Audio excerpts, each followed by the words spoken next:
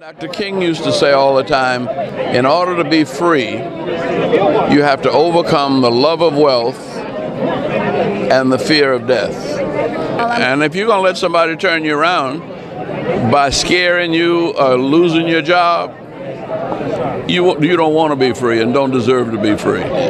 Freedom is a constant struggle. And if you're sitting back waiting for somebody to give you your freedom, you'll always be a slave. And if Martin Luther King was still alive today, what do you think he would say?